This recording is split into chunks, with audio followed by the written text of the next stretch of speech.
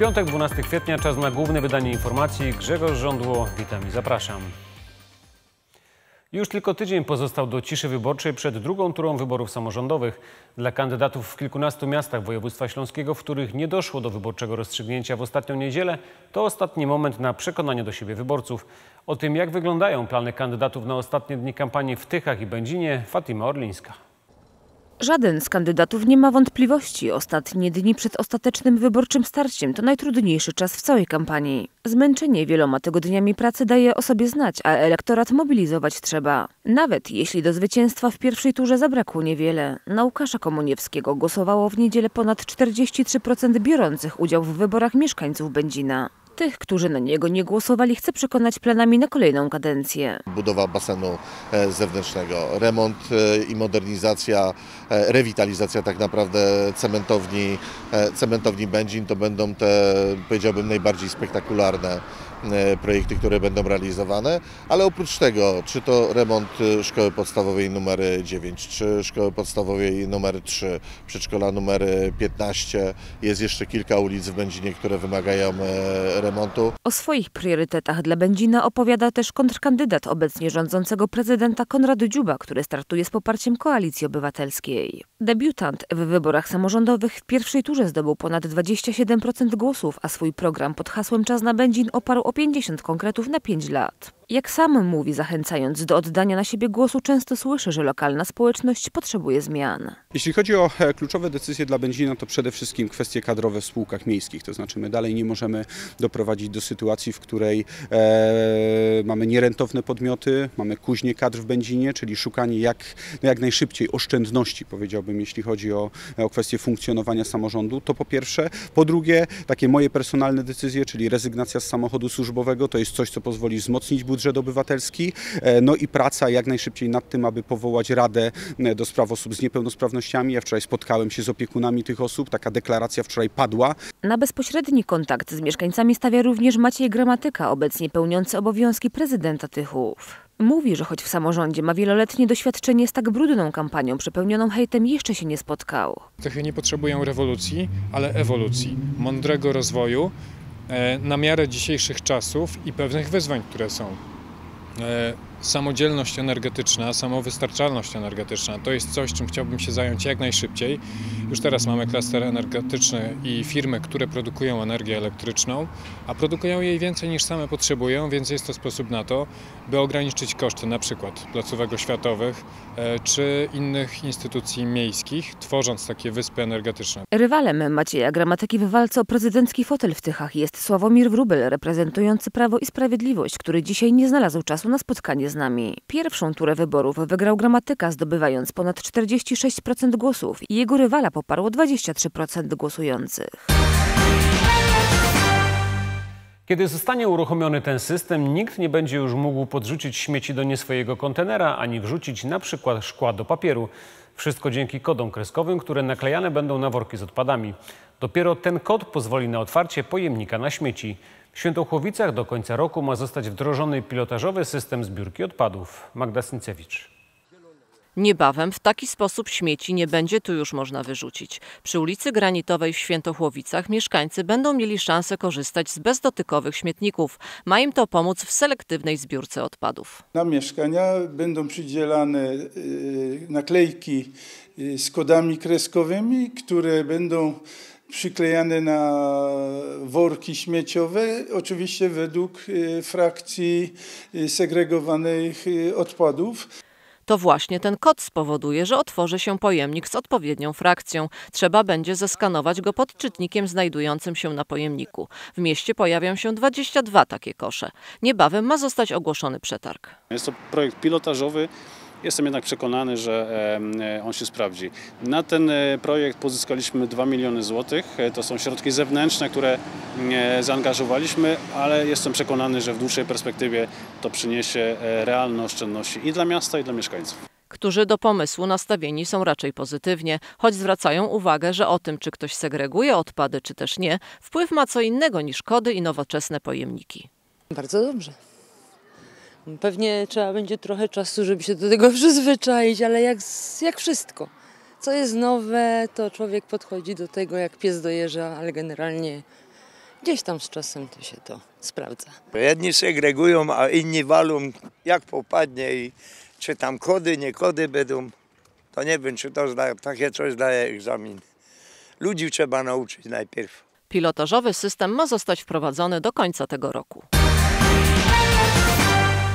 Gmach Sejmu Śląskiego i część przylegającego do niego placu po raz kolejny zostały planem filmowym. W centrum Katowic trwają zdjęcia do niemieckiego serialu obyczajowego, którego bohaterowie mieszkają po różnych stronach muru berlińskiego. Karolina Komada. W polityce przy okrągłym stole siada się zwykle, kiedy trzeba podjąć trudne decyzje, a uczestnicy rozmów mają różne zdania na ten sam temat. Scena polegała na tym, że mamy głosowanie w Ministerstwie Kultury e, niemieckim nad przyszłością e, instytucji, instytucji kultur, kulturalnych. Tak jak wspominaliśmy, to są lata 90., upadek muru berlińskiego, połączenie wschodu z zachodem, więc toczą się na najwyższych szczeblach, toczą się dyskusje e, na temat w jaki sposób pracować nad kulturą, gdzie ma wejść komercjalizacja i tutaj była dyskusja i właśnie głosowanie senatorów. Serial kręcony m.in. w budynku Sejmu Śląskiego w Katowicach koncentruje się wokół legendarnego Teatru Berlińskiego, a historia opowiada o tancerzach mieszkających po dwóch stronach muru berlińskiego. Uh,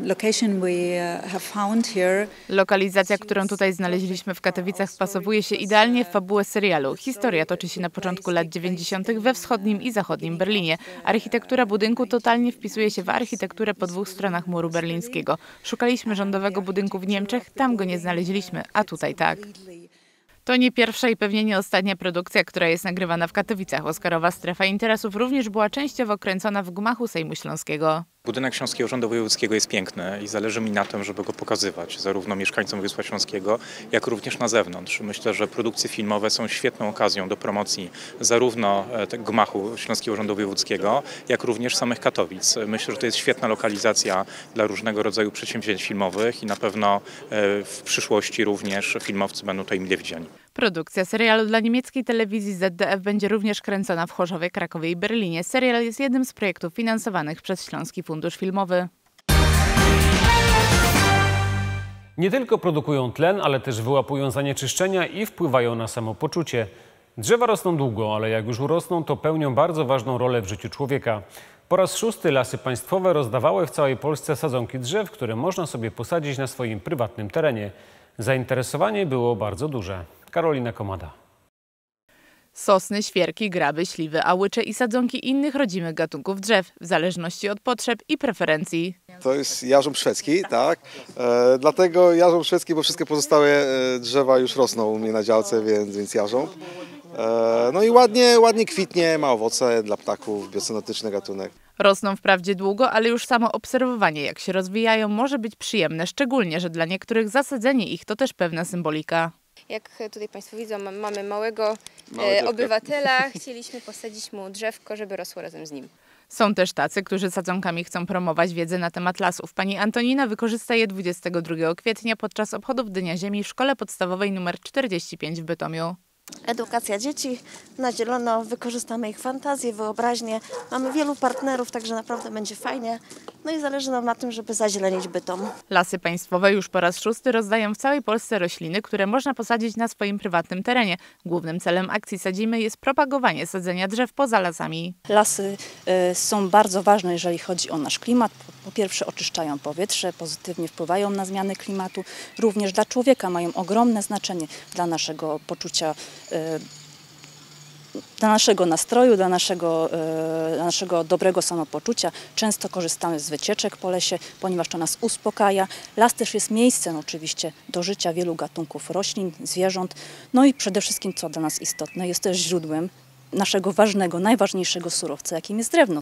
Surowca, który jest odnawialny i ma ponad 30 tysięcy zastosowań. Zanim jednak będzie można go pozyskać, trzeba go najpierw zasadzić. Żeby posadzić taką sadzonkę, musimy oczywiście wykopać mały dołek, tak żeby ten dołek zmieścił, zmieściła się ta bryłka korzeniowa w tym dołku.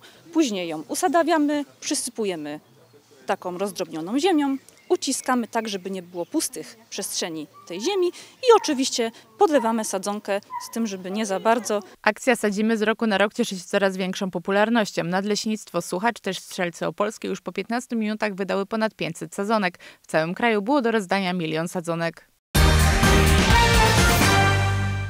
Jak się ma trochę determinacji i wiedzy, to i w mieście można sobie wyhodować banany, takie jak te, które rosną przy wejściu do jednej z przychodni zdrowia w Katowicach. Zresztą banany to nie wszystko, są tam też na przykład owoce awokado. Jak to się robi w naszym klimacie? Magda Sincewicz. Na co dzień pan Zygmunt zarządza dużą firmą, ale jego pasją od lat jest uprawa egzotycznych roślin, takich, które kojarzą się z tropikami i takich, których owoce przypływają do Polski z oceanu. Jemu jednak udało się je wyhodować w Katowicach. Przesadziłem banana z doniczki do ziemi, dałem trochę nawozu, no i poczuł się jak u siebie w, w Afryce. Dość długo trwa proces, bo kwitnięcie było na jesieni, no i przez zimę dobre, dobre warunki były, więc to się tak utrzymało. No i myślę, że za miesiąc będą już do zrywania. By wyhodować tak zacny okaz i w mieście, potrzebne jest jednak odpowiednie podejście. Pan Zygmunt może liczyć na wsparcie swoich współpracowników. Dbamy o nie, nawozimy je, mamy swój kompostownik, yy, obcinamy im liście, podlewamy. Tak jak pani widzi tutaj właśnie te wszystkie, wszystkie tutaj roślinki potrzebują nawozów, potrzebują, żeby rozmawiać do nich, chwalić, tak jak naszego bananowca. Bo oprócz niego na wejściu do przychodni pacjenci mogą natknąć się też na awokado czy olbrzymią monsterę, która właśnie obrodziła w dorodne owoce. Taki zakątek powoduje, że nierzadko ktoś przysiada tu na ławce, by chwilę się zrelaksować. Bardzo ładnie. Jest tu y, w ogóle całe wyjście, jest bardzo ładnie. Taki wystrój, jak to się mówi, e, no tak jak gdzieś w palmiarni albo coś, nie? Ale jest takie ładne. No z tym, że te banany nie są jeszcze dojrzałe, to jest najgorsze. Bo jakby były dojrzałe, to by już tu nic nie było z tych bananów. Bananów, które na co dzień można też oglądać w Gliwickiej palmiarni. Tu niektóre rośliny mają nawet 10 metrów wysokości. Z ich części produkowane są liny okrętowe. Bananowce są jedną z najpopularniejszych roślin tropikalnych. Można je uprawiać właściwie na całym świecie, choć nie w każdych warunkach. Rośliny wymagają w okresie zimowym jednak temperatur plusowych. Ci, którzy uprawiają w naszych warunkach bananowce w gruncie, w ogródkach swoich, no zmuszeni są okrywać je i to dość, dość dobrze, czy budować specjalne takie konstrukcje osłonowe, tak ażeby przy tej kłączu ta temperatura nie spadała poniżej zera bo tylko wtedy po zimie w tym samym miejscu może pojawić się nowe kłącze, które da kolejne owoce. Taki był piątek w informacjach. Miłego weekendu Państwu życzę i do zobaczenia w poniedziałek.